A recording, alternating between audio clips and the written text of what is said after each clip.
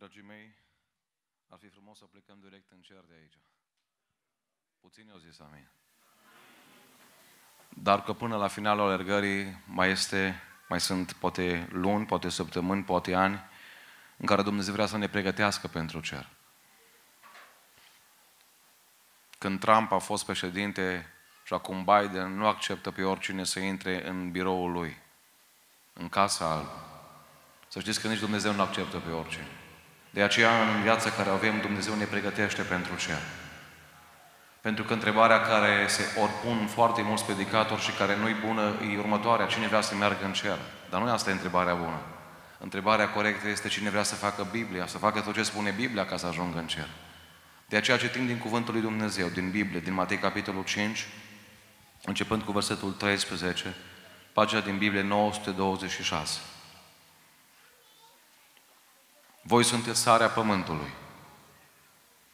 Dar dacă sarea își pierde gustul, prin ce își va căpăta iarăși puterea de a săra? Atunci nu mai este bună la nimic decât să fie lepădată afară și călcată în picioare de oameni. Voi sunteți lumina lumii. O cetate așezată pe un munte nu poate să rămână ascunsă și oamenii n-aprind lumina ca să pună sub obroc, ci o pun în sfeșnic și luminează tuturor celor din casă. Tot așa să lumineze și lumina voastră înaintea oamenilor, ca ei să vadă faptele voastre bune și să slăvească pe Tatăl vostru care este în ceruri. Amin. Vă invit pe cei care aveți locuri să ocupați locurile, pe ceilalți să stați în picioare și eu voi sta în picioare. Și pentru Dumnezeu merită să stăm și în picioare și în căldură și nu contează cum. Eu am decis că prefer mai bine să transpir la predică decât să transpir în iad. Așa că nu întreb pe ea care mă invită dacă este aer condiționat sau nu. Pentru Dumnezeu nostru, pentru Iisus Hristos care a murit pe cruce, merită orice sacrificiu. Iubiții mei, o să am nevoie de ajutorul mijlocitorilor în rugăciune. Rare ori mi se întâmplă să cer public lucrul acesta. E a noua predică de joi până acum. Și nu mai am putere. Nu suntem roboți. Nu suntem roboți, nu suntem supermeni și avem nevoie de harul lui Dumnezeu. Aș fi în stare să fac orice, să las pe oricine să predice și să stau pe ultima bancă. Dar în același timp, o zis Babel, vai de mine dacă nu fac slujba aceasta. Și avem nevoie de cei care știți că aveți o relație cu Dumnezeu autentic, acolo unde sunteți, să vă rugați în timp ce noi slujim aici. Ca Dumnezeu să ne întărească. Și slujirea care se face aici să fie o slujire benefică. Pentru că, dragii mei, noi n-am venit să facem reclamă unui partid. Noi n-am venit să deschidem un Lidl nou sau un Kaufland nou în Poltura. Noi am venit să vă spunem că vine o zi când cerul se va deschide și sfinții vor pleca acasă. Și acolo ai putea să fii și tu. Oricum, la finalul istoriei, Dumnezeu nu va împărți lumea între ortodoxi și catolici, baptiști sau penticostali. Biblia spune în câteva locuri că Dumnezeu va împărți lumea în două. Pe cei care au fost sare, lumină și cetate îi va pune la dreapta. Pe oricine altcineva îi va pune la stânga. Dacă ar trebui să rezumăm creștinismul doar la trei capitole din Biblie, acestea trei ar fi Matei capitolul 5, 6 și 7.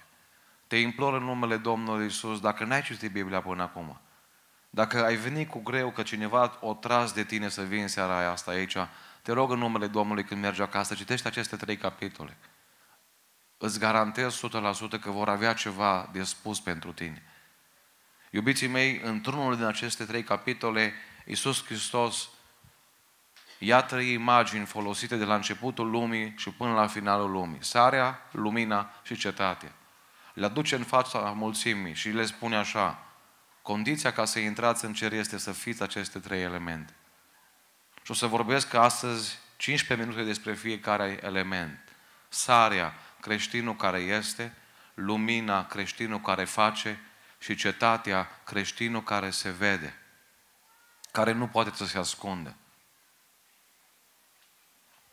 1. Sarea, creștinul care este.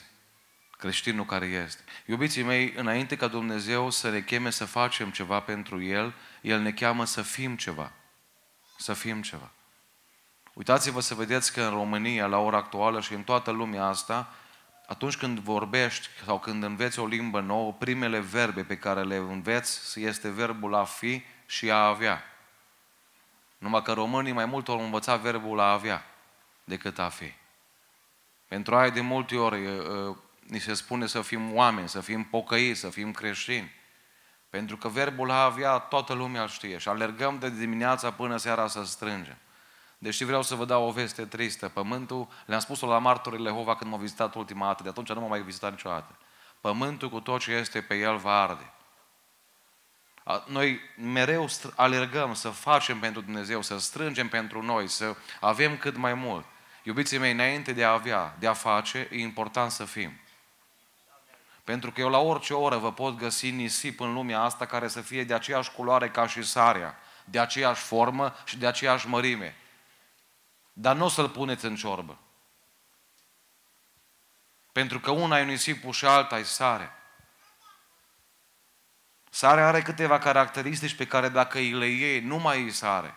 La fel și creștinul are câteva caracteristici pe care dacă îi le iei, el nu mai e creștin. Și aceste elemente sunt elemente, dragii mei, principale, care nu pot să fie înlocuite. Sarea nu este sare pentru că are un ambalaj frumos, pentru că are o culoare deosebită, pentru că arată frumos la Kaufland în vitrină. Sarea este sare pentru că are niște proprietăți speciale.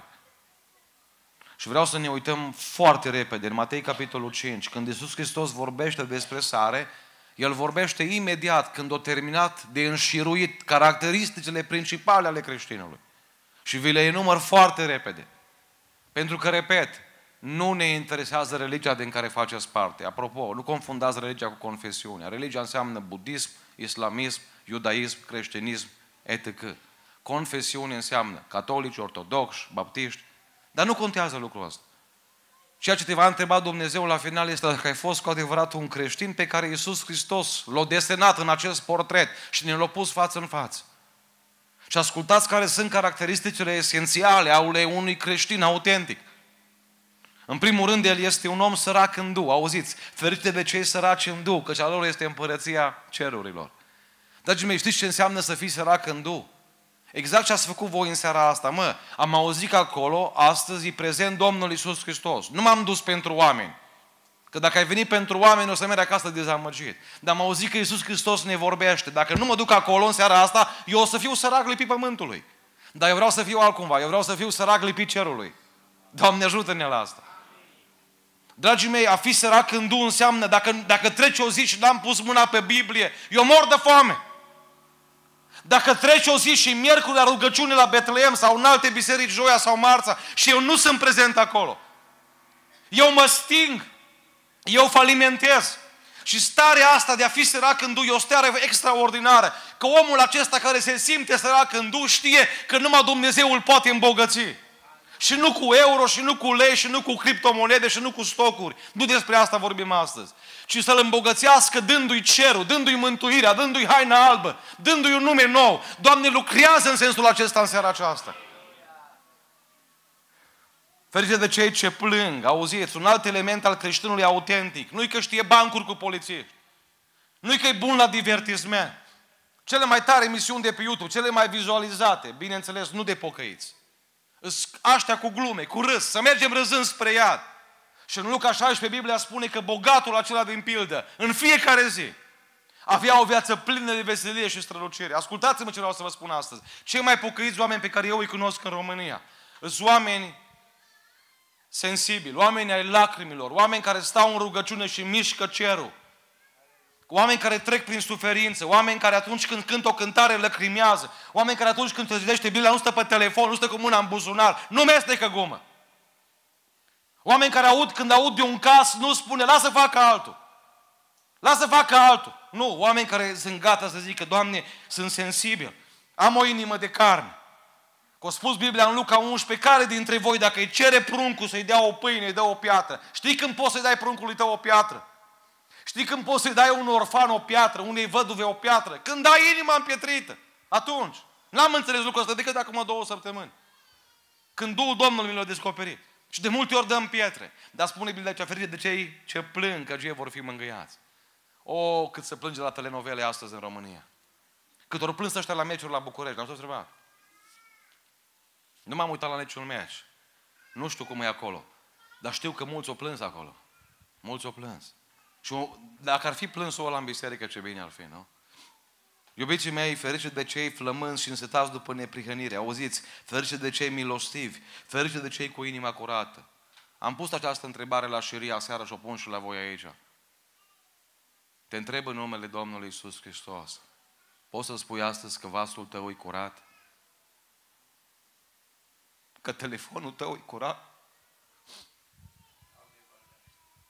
Spunea doi tineri de Cristi la mărturisire, trebuie să se căsătorească, dacă vrei îți dăm telefonul să te uiți.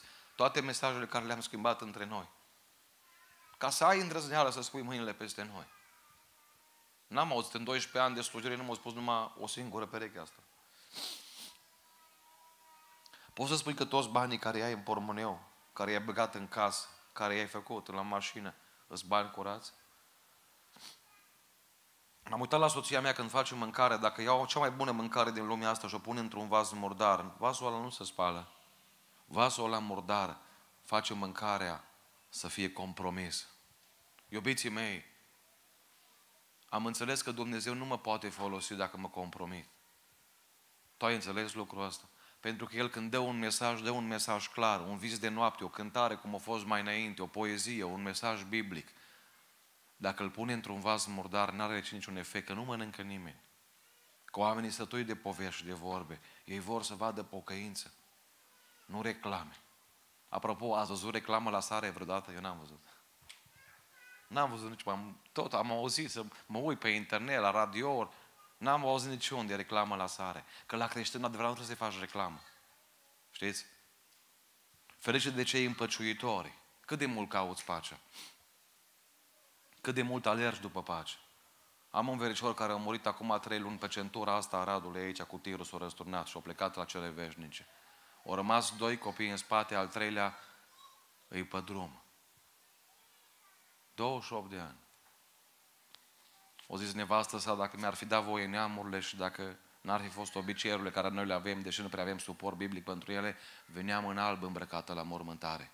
Că eu știu ce soț am avut. Eu știu ce soț am avut în caz. Eu știu unde a plecat soțul meu la 28 de ani. În dimineața accidentului, verișorul meu, de vreo două, trei luni de zile, avea un conflict cu cineva de la servici. Știi când e greu să-și ceri iertare? Când nu-i vina ta. Atunci e greu. Și avea un conflict. În dimineața accidentului, în ziua morții lui, fără să știe că pleacă, o pus mâna pe telefon și și-o cerut iertare. Dragii mei, ascultați-mă.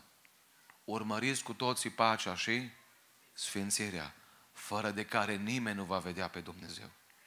Am auzit de creștini care se bagă cu pumnul în piept, că star creștini, de 20 de ani nu vorbesc unul cu altul.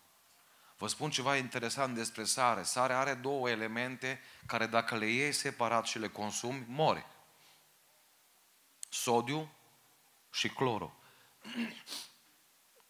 Dacă le consumi separat, sunt otrăvitoare. Știți că doi oameni separați, doi creștini certați, separați, îți dau una totală pentru biserică. Nici romul nu poate rezolva asta. Dezastru pentru o comunitate, pentru un oraș întreg, doi creștini, ortodoxi, baptiști, pentecostali, ce nu contează. Când își certați, când îți despărțiți, îți dezastru. Dar când ăștia doi creștini sunt păcați și lucrează împreună, pot face un eveniment din asta. Slăviți să fie Domnul. Ești sare? Ferice de cei prigoniți din pricina neprihănirii, că cea lor este împărăția cerurilor. Când ai fost ultima dată scuipat, lovit, batjocorit, făcut cu ou și cu oțet, din, fapt, din cauza faptului că ești cu adevărat creștin? Tu trebuie să răspunzi, să-ți răspunzi ție. Te-o jignit cineva până acum pentru asta. Mă aduc aminte că până în clasa șaptea eram și eu cum erau ceilalți colegi. Veneam la biserică, eram pentecostal, dar nu eram pocăit. Făceam și eu ce, ce făceau ceilalți. Și nu vreau să intru în detalii, că și trei prunci de-a mei cu mine aici. Și greu să te mărturisești la copii. În clasa 8 am auzit că este stăruință în Arad. Și m-am dus la mărturisire și la prima rugăciune am primit o valoare din cer. Și mi-am dat seama că cu valoarea asta, dacă mă duc în toalete cu ei și fumez, să duce. Dacă mă duc cu ei la filme, să duce. Dacă mă duc cu ei la pornografie, să o duci tot. Și în ziua aceea de 21 ianuarie 2001, am zis, Doamne, de astăzi trăiesc pentru cer. Au început să vadă colegii schimbare, dar fiind uh, clasa 8 deja câteva luni, capacitate, s-a dus repede. Anul școlar, am intrat în clasa 9 la Ghiba Bierta, patru ani de zile. Știți cine a avut, a avut treabă cu mine în fiecare zi? Nu știu, dar m-aș bucura într-o zi să mă întâlnesc cu el. Răzvan. Patru ani de zile știe, Beni a fost coleg cu noi și știe cât am suferit din cauza lui. Și toți pocăiții din clasă. Ne înjura, ne blestema, ne făcea cu ou și cu oția. Când la finalul clasei a 12 când am avut albumul ăla de poze și trebuia să ne scrie fiecare câte ceva, m-am uitat să văd ce m-a scris Răzvan. Am zis, mă, poate acum la final o să zică ceva frumos. Toți m-au scris așa, cu drag, știți cum m-a scris el? Cu drag Răzvan. Dar nu m-am mirat. Nu m-am mirat că nu puteai și să cer mai mult, știți? Știți ce m-a scris profesoara de informatică, diriginta noastră? O zis, Cristi, te-am, te-am văzut, te-am urmărit, împreună cu ceilalți pocăiți care ați fost în clasă, cred că am fost vreo cinci. O zis, continuă să mergi pe calea asta, că e calea cea bună. Ferite de cei prigoniți pentru neprihănire, că cea lor este împărăția cerului. Dragii mei, vă spun câteva lucruri despre sare și mă duc la punctul 2. Ascultați-mă, orice lucru dintr-o mâncare poate fi înlocuit în afară de sare. N-ai acasă păstărnac, pui pătrunjel, n-ai morcov, pui altceva, n-ai cartof, pui orez. Și bucătăresele știu mai bine ce vorbesc. Dacă n-ai sare, ce pui? Nimic. Exact la fel e în lumea în care trăim. Orice meserie din lumea asta, orice om, orice funcție din lumea asta poate fi înlocuită. Vă dau două, trei exemple. Mergi la primărie și vrei să discuți cu primarul, nu e acolo, dar e vicele. Poți să discuți cu el și poți să ai șanse să ai problema rezolvată. Merg la spital, la chirurgie și șeful de secție de la județean nu e acolo. Dar e asistenta și poate ea pune uh, branul la aia și poate ea face analizele și poate să te ajute cu ceva. Și te poate pregăti poate pentru o operație. Oricum nu pleci de acolo bombănind, comentând, te poate ajuta cineva. Și exemplele pot continua la nesfârșit. Știți că adevăratul creștin nu poate fi înlocuit? Mă zice, n-am creștin, hai să pe altceva. O zis Avram așa, Doamne, dacă sunt 10 creștini în Sodoma și Gomora, mai nimicești? Dacă sunt 10 oameni schimbați, transformați, și o zic Dumnezeu, nu. Putea să zică Dumnezeu, dacă nu sunt 10 creștini, iau 10 arhitecți. Iau 10 doctori. O zis Dumnezeu, nu. Nu poate fi confundată starea de creștin cu meserie. Sunt lucruri total diferite. Un alt lucru despre sare de care vreau să vă amintesc astăzi este că valoarea sării nu se vede în solniță, ci în mâncare. Toți sunt pocăiți la biserică, toți sunt creștini la biserică. N-ați observat? Toți. La Pașul, la Crăciun, toți sunt oameni darnici. N-ați observat că tot. Și interlopul dă ceva la Pașul, la Crăciun. Toți dau.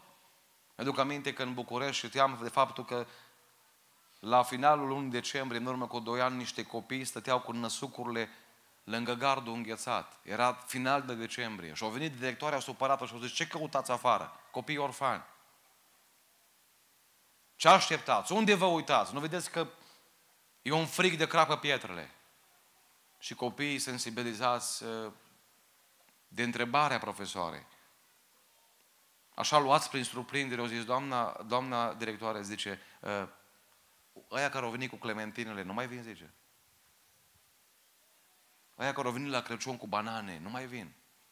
Și o zis directoarea, o trebuie să mușc limba, să mușc buzele, să le zic că la noi creștini numai la Pașul, la Crăciun. Că nu există creștini de 1 ianuarie. Nu există creștini de 15 martie. Există creștini de Paș de Crăciun. Iubiții mei, sarea nu-i sare la Pașul la Crăciun. Sarea e sare în fiecare zi. Dumnezeu caută creștini de fiecare zi. Doamne, ajută-ne la asta. Un alt lucru despre sarea de care vreau să vă spun neapărat e că sarea conservă. Bunicii noștri nu aveau oțet alimentar cum avem noi la discreție în magazinele alimentare. Și atunci foloseau sare ca să păstreze acei castraveți, acea conopidă care o punea pe iarnă. Da? Sarea conservă. Știți că adevăratul creștin conservă. Maria păstra aceste cuvinte în inima ei și se gândea mult la ele. Eu nu înțeleg, vă spun sincer, nu înțeleg cum ăștia care țin scorul, care iubesc pariurile sportive, care țin cu fotbalul, pe mine Domnul mă eliberat de câțiva ani, slăvit să fie Domnul, dar nu înțeleg, ăia țin minte că duc Adam, un arădean în 8-6, au apărat nu știu câte penaltiuri. Și îi întreb pe unii creștini care vin de la biserică, ce s-au predicat? Bă, nu știu, au fost super, zice. Dar nu știu ce s-au predicat. Dar au fost faimă, zice. Au fost super. Iubiții mei, îi țin minte câte penalturi a apărat omul ăla din 8-6, de 35 de ani. Că-s pasionați de aia. Și tu care spui că ești creștin adevărat, când îți vorbește Dumnezeu prin Biblie, ai uitat? Doamne, iartă-ne astăzi. Și dă-ne putere să uităm lucrurile alea alte, că știi ce am observat? Noi tare bine ținem minte ce ar trebui să uităm. Și tare ușor uităm ce ar trebui să ținem minte. Ți-a spus cineva un cuvânt acum 10 ani, nu l-ai uitat. Dar ți-o aprecia cineva acum 5 ani, 3 ani, 2 ani, l-ai uitat. Doamne, fază o trezire în mijlocul nostru. Și dă-ne putere să fim cu adevărat sare. Mă duc mai departe. Pentru că Dumnezeu când deja devii ceva, când devii o creștere adevărată, te poate folosi mai departe. Ce folos am eu un copil, de exemplu, care pleacă în Spania și să mă spune, tati, ă, deși te înjur, te blastăm, nu te ascult, eu îți trimit 100 de euro pe mani grem în fiecare lună. Păi am nevoie eu de bani ăia. Foarte mulți oameni sar direct să facă ceva pentru Dumnezeu. Nu mai întâi trebuie să fii ceva, să fii copilul lui. Și apoi tot ce faci pentru Dumnezeu are valoare. Lumina, creștinul care face, creștinul care arde, creștinul care se consumă, creștinul care se sacrifică. Toți ardem pentru ceva în viața asta. Unii ard pentru tractor, alții pentru piața de mașini, alții pentru poziție în societate. Alții pentru pământ, cum se spunea aici, nu? La noi, în, în județul Nedoar este un belgean are 600 de hectare de pământ. O singură mângâiere am când îl văd, că într-o zi eu nu o să fiu ca el, dar el ca mine o să fie. Știți că sunt trei, sunt trei locuri în lumea asta unde toți oamenii sunt egali. Biserica, uitați-vă aici. Te-ai pus lângă cel de lângă tine, nu știi câte clase ai, are, nu știu dacă știi engleză cursiv, dar nici nu te interesează. Nu știi ce facultate au făcut. Nu știi nimica, dar nu contează, că jertfa de la calvar ne face pe toți egali. Și unde mai suntem egali? La spital, în suferință. Ați pățit vreunul dintre voi să-i spuneți la doctor când vă bagă într-o, într-un salon, domnul doctor, pe mine nu mă bagi numai cu informaticieni, că eu sunt programator. N-am, n-am auzit așa ceva. Domnule, numai să găsești loc, zice, nu mai contează cu cine stau, să am acolo în pat să stau. De ce, din ce cauză? Că suferința ne face egali. N-ați observat când am fost în spital? Eu am fost. Dacă n-ați fost, oricum o să mergeți pe acolo. Da? Garantat o să ajungeți pe acolo. Dar am observat în spital, când ne eliberăm din spital, ne schimbăm numărul de telefon, dar nu mai sunăm după aceea. N-ați observat? Nu te mai sună nimeni după aceea. Știți din ce cauză? Că sănătatea ne face diferiți. Numai boala ne face să fim sensibili, să ne apropie unul de altul. Din păcate. Știți unde mai suntem egali? La cimitir. Doi metri are fiecare. Indiferent cât au avut în lumea asta, câte case au avut, câte pământ au avut, doi metri are. Iubiții mei, am o întrebare. Când vei ajunge la cimitir, când ceara de la lumânarea ta se va termina, cauza pentru care ai ars îți va da siguranța că moartea e o moarte benefică? Te întreb lucrul ăsta ca să meditezi la el. Că, repet, toți ardem pentru ceva. Voi nu vedeți că mărgă, uh, au mers oameni de noștri până în Spania. Au luat tarsinul sau au luat autobuzul trei zile și trei nopți. Pentru 500 de euro în plus la nu știu de la salar. Da? Și să face evangelizare și nu-ți vine omul pe stradă, stă pe stradă, eu am pățit în satul mare, pe stradă, o zis păstorul Cristi, îmi pare să spun, nu au venit creștini de-ai noștri de pe stradă în seara asta. Dar până în Spania, pentru stomac, pentru salar, pentru ceva mai bun, merge. Pentru că arde pentru ceva. Care sunt lucrurile pentru care arzi? Auziți și au zis Pavel la un moment dat, ceva extraordinar. O lumânare fenomenală, un, un, un far al lui Dumnezeu dar eu nu țin numai decât la viața mea ca și cum mi-ar fi scumpă, ci vreau numai să-mi sfârșesc cu bucurie calea și slujba pe care am primit-o de la Domnul Isus, ca să vestesc Evanghelia Harului lui Dumnezeu. Avem renovare la biserică, să, de vreo două luni am apucat. Și să vă spun ce am pățit, că tare, tare interesant e să vedeți ce am pățit. Am zis, ne apucăm de renovare. Eu cunosc multe persoane, mai cunosc cât doi, trei din biserică, Domnul va lucra, oricum, mulți ascultă cântări, poeme, predici, poate îi dă cineva ceva. Am făcut banner din la mare, am pus pe Facebook. 100 de mii de oameni au văzut, 12 ne-au sunat. Bine, oameni care zic, mă, noi, noi îl iubim pe Domnul, zice, deci, 100 de mii. Așa m-am înmuiat, am zis, Doamne, am zis că rezolv eu, dar eu nu mai am ce să rezolv, ce să mai rezolv? Trebuie să rezolv tu. Dar am zis, Doamne, totuși mai, mai am ceva patron în țară. Am sunat, o răspuns Orange-ul. Abonatul nu poate fi contactat. Reveniți mai târziu. Nu știu cum se face. Că atunci când mă sună pentru evangelizare, nu răspunde Orange-ul. Răspunde Cristi Boareu. Când sun înapoi, răspunde Orange-ul.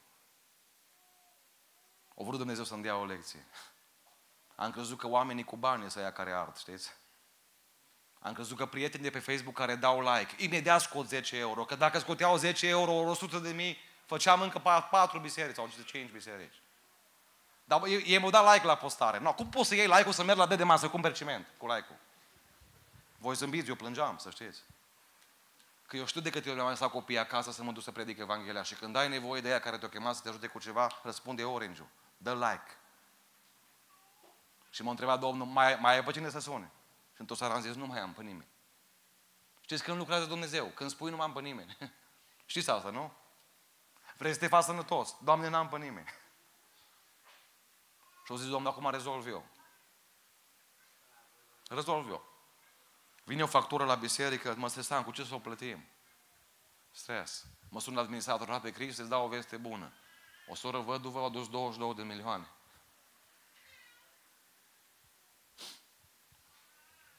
Să vedeți ce pățesc. Mă duc după vreo o lună de muncă, uh, în fiecare zi aproape am fost acolo împreună cu alți frați, după cam o lună de muncă, văd pe cineva la biserică, 73 de ani are fratele. Zic, de ce căutați aici? Că acum două luni știu că m-ați spus că vă operați de ochi. Ce căutați aici acum după operație? Frate Cristi, m-am făcut bine și am venit la lucru. 73 de ani operat de ochi. N-are voie să facă efort după operație la ochi. Știți asta bine. Are cel puțin 10 zile de lucru făcute la biserică. Mă duc mai departe. Lumânări care ard, știți, oameni de sacrificiu, care nu ajung pe YouTube sau pe Facebook, care nu dau like-uri, știți? Care vin și iau lopata în mână. Alaltă ieri mâncam cu muncitorii, joi de fapt, și la final vine un frate. Soția lui e oarbă, el crede că deja are 10 zile de lucru la biserică. Putea să zică, frate Cristi, știi că soția mea e oarbă acasă, oarbă complet. Nu vorbim că vede așa jumate, oarbă complet. Putea să zică, frate Cristi, noi nu putem să participăm, că soția mea are nevoie 24 din 24 de mine. Și aș fi spus, de ce să nu te prind aici, că soția mai importantă și familia mai întâi, nu? are cel puțin 10 zile de muncă și alaltă el când mâncam cu, cu, cu oamenii la, la masă, scoate o plasă din aia veche de rafie și scoate un pachet din, din plasă. Ne uităm toți muncitori acolo. No, ce putea să-ți dea un om cu soția oarbă acasă? Mă gândeam, ce poate să aducă? Și zice, fratelor, zice, să nu vă supărați pe mine, zice, soția care e oarbă a făcut doi cozonari, zice. Numai Domnul știe cum i-a făcut.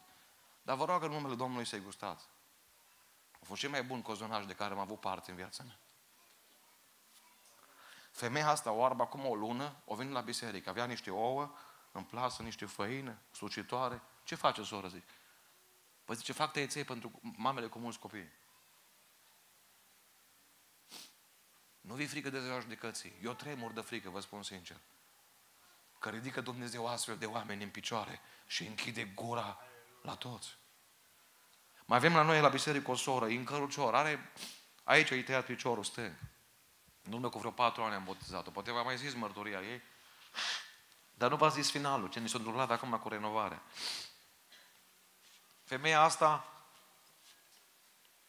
nu știu, mi-e și rușine parcă să vă zic, vine înaintea mea ca slujitor la biserică aproape totdeauna. Nu știu, eu cu mașină din 2016, ea cu căruț din nu știu ce an, cred că 90. E din ăla care trebuie să face așa ca să meargă. Nu e electric, cum avea bunicul meu. Dar ajunge înaintea păstorilor, înaintea prezbitorilor la biserică. Și într-o zi m-am necăjit, am zis, Doamne, care e problema? Unde e problema? De ce ea ajunge înaintea mea la biserică? Că doar nu merge cu viteză mai mare. Eu am crezut că viteza e problema și am zis, Domnule, deschide la Ioan 20. Am deschis la Ioan 20 și acolo spune Biblia că Petru și cine? Ucenicul, apostolul iubirii, au lergat la mormânt. Cine a ajuns primul? Dragostea. Și au zis, Domnul, știi cine ajunge primul? Acolo unde sunt eu. Dragoste. La tine nu-i problemă de mașină, au zis Domnul, nu trebuie să o schimbi. Trebuie să schimbi inima, nu mașină. La voi nu e așa? M-am apropiat de sora asta într-o zi și am zis, soră, cum sunteți? Și așteptam să zic, Rade Cristi, sunt dezastru. Dezastru. Am nevoie... Nu m-a zis asta. O zis, frate Cristi, slăvit să fie Domnul, sunt foarte bine. M-am uitat la ea pe cărucior, cu medicamente, cu rețete, cu un băiat care o împinge pe îndeva ca să ajungă la biserică, cu piciorul tăiat. Am zis, cum puteți să spuneți că sunteți bine? Frate Cristi, ori de câte ori mă rog acasă când, ori de câte ori deschidem Biblia cu băiatul meu, simțim că în camera noastră mai vine cineva. Și atunci sunt bine.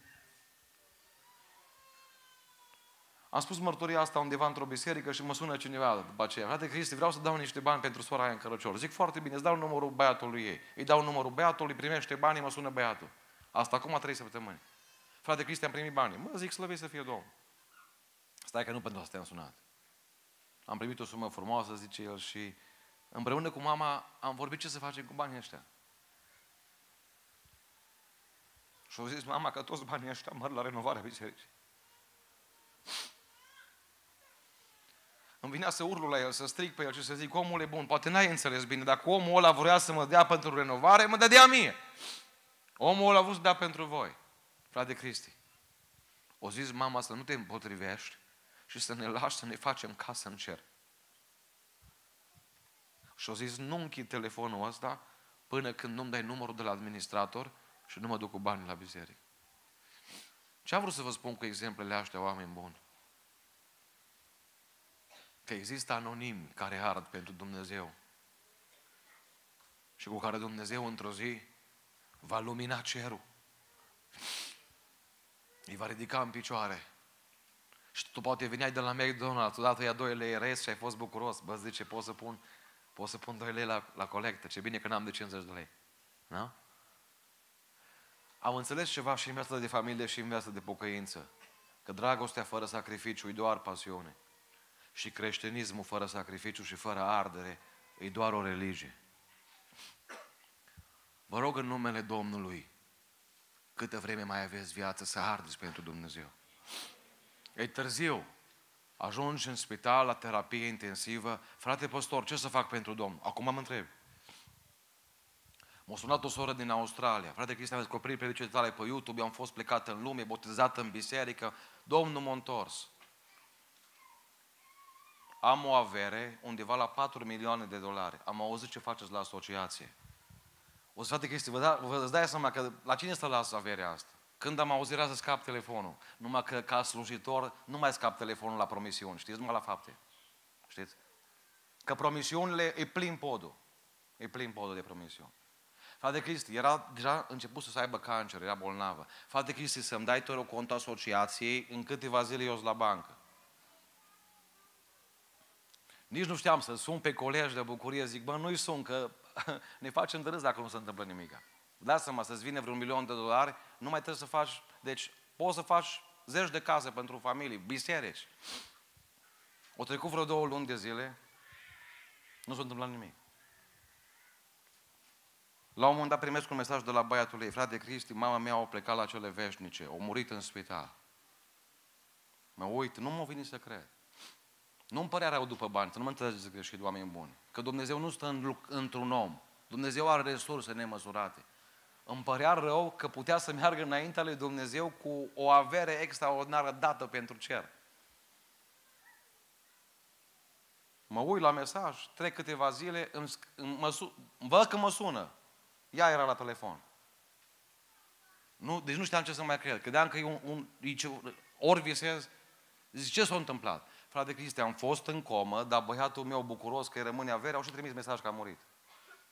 Fai, de... Deci așa ceva ca păstor n-am pățit. Vă dați seama. Vă dați seama. Dar cred că și băiatul ei nu a pățit așa ceva niciodată. Știți? Bun, își revine asta, sora, femeia, bucuroasă că și-a revenit. Frate Cristi, știi că am făcut o promisiune? Știu. Zic, eu cui rămâne dacă muriți? Zice, statului și la, la familie o parte. Zic, soră, eu nu vreau să... Eu, eu nu avem un principiu, noi nu cerem de la nimeni bani pentru lucrarea de la miros de cer. Dar eu vreau să vă spun atât de dacă aș fi în locul dumitale, m-aș duce cu, înaintea Domnului cu banii ăștia dați la săraci, nu la guvernul australian și nu la alții. Frate Cristi, așa e. Mai dăm o dată contul că mi s-o ștergi WhatsApp-ul, că ăsta deja o și șters pe aici, zice. Făcut clean-up. De la zero, zice. Îi dau contul încă o dată. Dragii mei, vă mărturisesc. Am, am mesajele, le am acasă. Le-a văzut soția mea. Vreți să vă spun finalul? O murit. Weekendul trecut. Și nu a mai venit înapoi. Și banii nu i-au trimis. Unde vreau să ajung? Ce scuză va avea femeia asta în fața lui Dumnezeu când Dumnezeu îi va spune când doctorii au vrut să decupleze aparatele, eu ți-am dat viață ca să faci ceva cu toată averea care ai strâns-o zeci de ani pe pământul ăsta. Spuneți-mi ce scuză. Ai mers înapoi din moarte la viață, din comă profundă ai mers înapoi. Să ars pentru mine. Am mai dat un fitil să mai luminez un pic. N-ai făcut. M-am uitat la poză, mi-a trimis poză cu ea. M-a trimis băiatul mesaj și am zis ce ușor tratează oamenii minunile lui Dumnezeu din viața lor. Câți dintre voi n-ați fost ca și ea, poate? Doamne, dacă mă scos de aici, mă pun la dispoziția Ta. Poate n-ai bani, dar ai zis, Doamne, mă pun și intru în zile de post, mă pun și mă rog, mă pun și stau în spărtură, nu lipsesc de la biserică. Și Dumnezeu te-a salvat. Și te-a dat biruință. Ți-ai împlinit juruințele. Iubiții mei, toți ardem pentru ceva. Dar nu știu dacă merită să murim pentru lucrul pentru care ardem. Că vine ziua când vei pleca de aici. Spune Biblia în Matei 10 cu 39, cine își va păstra viața o va pierde. Și cine își va pierde viața pentru mine o va câștiga. Știți ce vreau să vă spun? Că lumânarea nu arde pentru ea, lumânarea arde pentru alții. Vi s-a întâmplat vreodată să aprindeți becul și becul să zică, uite-te la mine ce fain luminez. Eu n-am pățit până acum cu niciun bec, cu nicio lumânare. Pentru că lumânarea nu arde pentru ea. Lumânarea arde pentru cei din jur. Becul la fel face pentru cei din jur. Ateu trăiește pentru el. Creștinul trăiește pentru aproapele lui. Te întreb astăzi, pentru ce ai ars până acum? Știți ce mai am găsit interesant la lumânare? Faptul că o lumânare dacă aprinde pe alta nu-i scade flacăra. E adevărat pe asta sau nu? O, zice, eu nu mă rog pentru ăla, nu iau zi de poză, nu mă duc să-l ajut, că o să rămân eu mai sărac. Nu e adevărat. Tot ce faci pentru Domnul, tot ce aprinzi pe alții, îți dă ție mai mult în cer. Vă mai spun ceva despre lumânare. O mie de lumânări pot să fie aprinse de o singură lumânare, iar viața acelei lumânări nu va fi scurtată. Pe cât ai aprins până astăzi? Câți au primit lumina de la tine și au văzut în tine un creștin autentic și să spună cei de lângă tine, vreau să ard ca și omul ăsta pentru Evanghelie. Vreau să ard ca și omul ăsta pentru văduve, pentru orfani, pentru cei care sunt săraci. Închei punctul al doilea spunându-vă că primul loc unde trebuie să luminăm e în casa noastră. Primul loc unde trebuie să ardem e în casa noastră. O zis îndrăcitul din Gadara, după ce l-a eliberat Domnul, vreau să vin după tine. Și au zis, Domnul, nu, mergi acasă la ai tăi. M-am întrebat ani de zile de ce. Știți de ce? Că am întâlnit tineri care au zis, de Cristi, vreau să mă duc misionar în Africa și am întrebat colegii din clasa 12 știu că ești pocăit? Nu. Atunci lucrează cu ei mai întâi.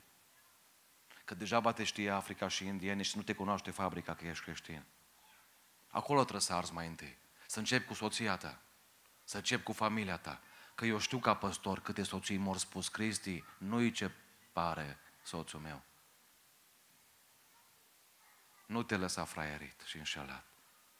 Și la fel de soț. Că una e imaginea și alta e caracterul.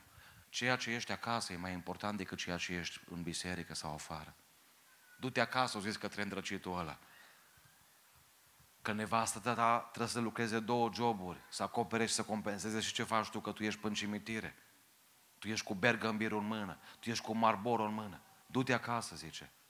Că ai acasă niște copii care măr la școală și la ședința cu copiii, cu părinții, nu vine nimeni. Ai niște prunși care au mers de sculți și ai niște prunși care merg fără pachet la școală. Ștă să-și bagi joc din clasă de ei. Du-te acasă. Să vadă fata ta că te-ai schimbat și că te-ai întâlnit cu mine. Să vadă băiatul tău că citești Biblia de astăzi. Că așa spune aici Biblia, oamenii n prin lumina ca să o pună sub obroc, ci o pun în sfeșnic și luminează tuturor celor din casă. Iubiții mei, nicio biserică nu o să fie mai înflăcărată decât sunt înflăcărate familii din biserica aceea. Pocăința nu începe din guvern. Voi ați văzut pe Iisus Hristos când o venit să zică facem, facem alegeri anticipate, îl dăm jos pe cezar și punem pe altul. Nu, pentru că Iisus o știu ceva ce noi ca români nu știm. Că dacă avem oameni firești în biserică și în România, ăștia vor promova firești în conducere. Dar dacă ai oameni schimbați și transformați, ăia când votează, votează sub călăuzirea lui Dumnezeu. Și ăia poate, poate și dacă nu ajung la vot, că nu au putut să ajungă, dar au stat în poșă rugăciune. Și Iisus a spus, mai întâi trebuie să schimbăm familia, mai întâi trebuie să schimbăm individul și apoi țara. Dacă poporul meu se va ruga. Tot vrem păstorul să facă, tot să facă comitetul, să facă alții. Cât facem noi? Doamne, aprinde-ne astăzi pentru cer. Că pentru lucrurile materiale atâta ardem. Am, dacă, ar fi, dacă ar fi întuneric, dacă ar fi ziua și noaptea, am lucrat și noaptea. 24 am lucrat din 24. Ne mai uităm unul la altul, fii atent. Bă, dar ce casă faină are, eu am mai faină ca el. Nu, tu n-ai casă mai faină ca el, tu ai paie mai faină ca el. Asta e. Și într-o zi și paiele tale și ale mele ard. Știi ce nu va arde? Ce am trimis dincolo. Aia n-are cum să arde. Aia nu poate să fure hoțul. Pentru că deja e dincolo. Cămașa care eu o dau unui om. O, câte haine mucegăite am primit la asociație. Nu are rost să vă spun. Nu are rost să vă spun. Să vă spun că am primit zeci de saci de haine mucegăite. Să vă spun, dar nu pot să vă spun acela în vond. Că nu puteți să, să auziți. Să vă spun că m-a dat milionar din România 10 lei pentru Oltenia. Asta să vă spun. Și femeie din Galați, cu artroză, cu, cu durere enorme, o zis către soțul ei, scoate aia 4 milioane de la pensie și dă pentru săraci, mă. Tremur. Că știu că într-o zi nu noi care am fost în față vom fi dați exemplu, ci oameni care au ars în anonimat, care au stat cu Dumnezeu de vorbă și care s-au sacrificat, care au făcut ceva pentru cer. Care e cauza pentru care ai ars? Merită să mori pentru cauza pentru care ai trăit? O, cât arde. M-am văzut când s-a deschis nu știu unde, s-a deschis un Lidl. S-au împins ăștia pentru tigăi, n-ați observat, s-au rupt acolo ușile. La 4 dimineața era coadă la o tigai de 25 de lei. Asta pentru asta ard oamenii. Pentru tigăi. Și am spus la o femeie când mă sunat să-i dau o Biblie, Doamne, n-am acasă Biblie să vă dau, că trebuie să fac tipografie, că ne sună mulți. Dar este librerie în Arad, 25 de lei. 25 de lei, voi sunteți nebuni? Dar 25 de lei un Marlboro, ăla nu-i scump. Dar tigaia e 25 de lei și nu-i scumpă, nu? Și Biblia care schimbă viața e scumpă 25 de lei. Unde vreau să ajung? Mă doare că nu mai ardem pentru Dumnezeu, nu mai ardem pentru lucrare. Nu mai avem oameni de sacrificiu. Am fost acum într-o zi la biserică, din 300 de membri erau doar la lucru. O mă veni să plâng. Ca să vină încă doi a doua zi, o trebuie dă comitetul să sunăm 300 de oameni. Că avem principiul ăsta, ce cade în dacă fac? Ce să ies eu de aici? Tu ai bandica. Știți ce a fost care a fost principiul lui Isus? Ce vă cade vouă de aici, nu ce cade mie. Că cerul fără Cristi moare, e tot frumos. Dar eu fără cer zero. Te provoc astăzi să încep să arzi pentru ceva. Iubiții mei, poate sunt prea dur. Dar când doctorul e dur cu tine, de ce te necăjești pe Cei mai mulți dintre noi mergem fără Biblie la biserică. Și ne întrebăm de ce nu arde. Păi n-ai cum să arzi, că nici măcar Biblia nu te cu tine. Îmi spui mie că citești Biblia de luni până sâmbătă și nu vii cu ea duminică la biserică. Dar nu am cum să cred lucrul ăsta. Dacă cartea asta nu m-a transformat și nu m-a schimbat, nu o să mă schimbe nimic, nici o mie de predici. Că dacă nu mă mișcă SMS-ul soției, nu mă mișcă nimic. Pentru familie să mă motivez. Că cu ea am făcut legământ. Și tu cu Iisus faci legământ. Pentru ce azi? Să lași 4 milioane de dolari la guvern? La un drogat? La o pisică? La un rex? Sau să crești copii pentru cer. Să faci sandvișuri, auzi? Ce faci mă, în viața asta? Fac sandvișuri la Moise, la Ilie și la Estera. Extraordinar. Extraordinar. Dar de ce ai voricele alea? L-am născut pe Iosif, mă. Și pe Timotei. Pentru aia. Că dacă aveam câini, n-aveam varice. Iubiții mei, va fi o diferență într-o zi. Între cei care au stat în tribună și au mâncat seminte și au ținut scorul. Bă, a fost o predică frumoasă, interesantă. Cu ce te-ai ai mers acasă? Cu nimic, cu scorul. Și între ea care coboară și din jos pe scenă.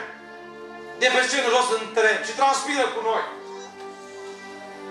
Și se schimbă în beco pe marginea drumului. Și mă la văduve și la orfanș și la sărași. Că 22 de oameni în tribună și 80 de mii. 22 pe teren și 80 de mii pe all camp. Care țin scor. Nu ne-o creat Dumnezeu să ținem scor, ci să ne implicăm. A ridică, Doamne, oameni în seara asta. Asta m-am rugat pe drum. Să nu mă duc deja. Cam ce faci acasă. Trei. O cetate suntem. Știți de ce este secolul de tărașirie? Crește. Știți ce vrea să ne spună Biblia? Pocăitul care trăiește pocăința, creștinul adevărat, mama care se sacrifică, tatăl care își dă energia pentru Dumnezeu. Unu, în timpul vieții, e vizibil, e văzut. nu e ca polițiștii, nu vreau să jignesc polițiștii, polițiștii în civil, sub acoperire. Tare mulți pocăiți sub acoperire avem, n-ați observat, creștini sub acoperire. Mă uit la pruncii mei, măr la școală, vine unul răcit, să, în două zile să răcit și ai mei. Și tu lucrezi la fabrică de 40 de ani și spui că ești creștin. Cât ai contaminat? Ai fost patru ani la liceu, la pedagogic, la Liva Birta, la Slavici, unde ai fost. Cât s-ori pocăit uitându-se la tine? Că ești o cetate, mă, mă auzi ce spun? Poți să iei perdea sau prosop să pui pe societate, dar n-ai cum să pui pe sășirea nimic. Ea rămâne acolo, vizibilă. Vizibil. 496 de metri. Că atunci când te pocăiești, te ia Dumnezeu din praful drumului dintr-un anonim și te face un copil al Lui. Și n-ai cum să treci pe lângă un copil de Dumnezeu și tu nu dai seama că ăsta e pocăit. Te ia Dumnezeu de acolo. S-a uitat ăștia în Luca 7. Dacă ar ști cine e nenorocită asta, femeia asta, ce păcate face, ascultă-mă în seara asta. Iisus nu se uită la ce ai făcut până acum ci la ce poți să faci împreună cu El de astăzi. Dacă te pocăiești în seara asta, de ce ai făcut până acum? Oamenii se uită la ce ai făcut. Dumnezeu se uită la ce poți să faci. Iubiții mei, suntem o cetate. Ierusalime, tu ești ca o cetate zidită dintr-o... Aici e problema. Că cetatea nu e făcută dintr-o piatră, ci mai multe pietre care se pun una lângă alta. Atunci când ești creștin adevărat, te cunoaște și cerul și iadul. Auziți ce spune, ce spun demonii. Știți că și demonii vorbesc, nu? Știți asta. Auziți ce spun demonii către fiii lui Șeva. Pe Iisus îl cunosc și pe Pavel îl știu. Dar voi cine sunteți? Nu știu, te, te cunoaște iadul? Te cunoaște ce? Ascultă-mă ce spun, dacă îți merge totul bine de ani de zile și nu ai nicio problemă. Înseamnă că nu te știe nimeni. Pe mesă, știe cineva sau pe Ronaldo? Știi. Toată planeta asta știe. Pe un creștin adevărat trebuie să știe biserica, orașul în care stă. Am un cumnat, stă undeva în județul Timiș și o zis Cristi, am avut un bunic, meream cu el la săpa de porumb. De porumb. Când ajungeam la capătul firului, șirului, eu să mă întind în iarbă să mă odihnesc. A zis bunicul, sus la rugăciune. Veneam din coace, mai zăpam un rând, mai băgam jumătate de oră de transpirație și mă tolăneam pe iarbă. Sus cântăm o cântare. Frate Cristi, așa au fost pocăința adevărat.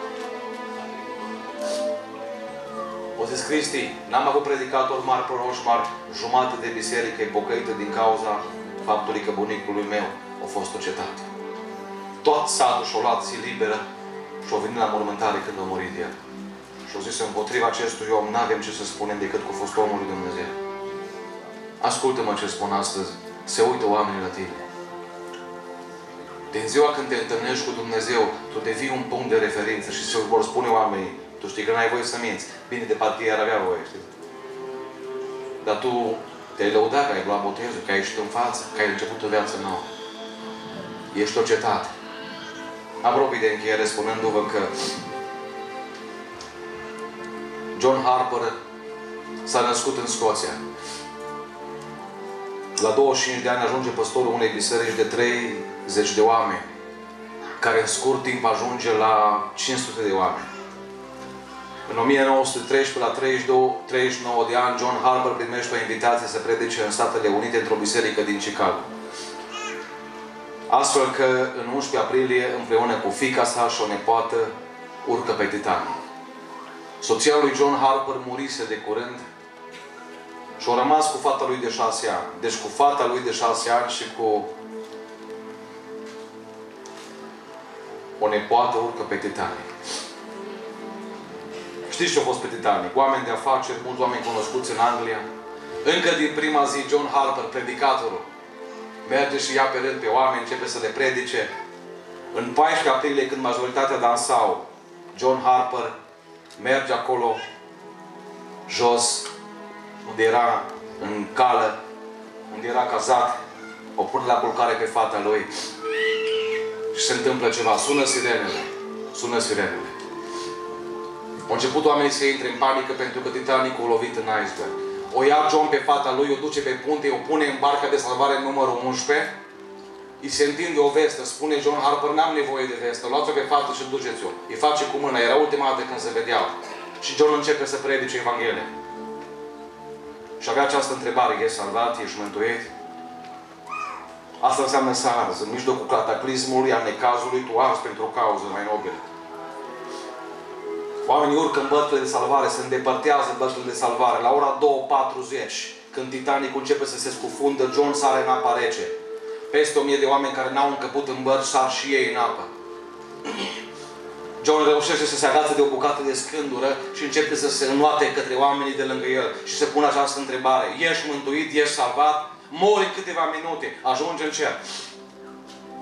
Trec patru ani de la întâmplarea asta și într-o biserică din Canada un bărbat se ridică în picioare și spune așa Sunt unul din cei șase oameni care au supraviețuit și au fost sculeși din apele rece ale oceanului. În acea noapte, când 1517 oameni au înghețat și au fost înghițiți de apele oceanului, o zis omul ăsta așa, când mă zbăteam în apă, în mijlocul strigătelor și a suspirilor, am auzit vocea unui bărbat care a strigat de departe, Ești mântuit? I-am răspuns nu. Deodată un val a venit, l-a acoperit, s-a scufundat, după un timp a ieșit la suprafață. Și din nou a strigat cu voce mai slabă acum. Ești mântuit? Și am răspuns nu. Atunci el a strigat pentru ultima dată și a spus crede în Domnul Isus și vei primi mântuirea. A venit un nou val, l-a răpus, l-a înghițit. Iubită biserică, o zis omul acesta în Canada, eu sunt ultimul rod al lui John Harper. Ultimul bocăit. Închei. V-am dat un exemplu despre un om care o ars, dar vreau să rămân întrebarea în seara aceasta, ești mântuit? Vreau face eu să vină pe scenă, să cântăm o cântare care spune Câte vreme a trecut, câte vreme a rămas. Dacă afară începe să plouă, m-aș bucura să ploaie cu două Sfânt și cu mântuire și încolo. Eu nu mă grăbesc acasă. Dar ceea ce vreau să vă spun este că atunci când Titanic a plecat din Anglia spre America, la bordul lui erau trei clase de oameni. Trei clase, mă auziți? Bogații, clasa de mijloc și săracii. După ce a naufragiat, s-a pus o plăcuță comemorativă din locul în care a plecat Titanicul și scria doar două clase. Pierduții și salvații. În seara asta vreau să te întreb, ești pierdut sau ești salvat? Știu că după această predică sunt oameni în sală care vor lua decizii noi. Poate n-au fost lumină sau cetate sau sare, dar într-un mod special vreau să ne ridicăm cu toți în picioare. Și dacă este cineva care vrea să ne rugăm pentru el și care n-a făcut încă botezul și nu s-a predat Domnului și vrea să facă lucrul acesta acum la final, te invit să vii aici în față.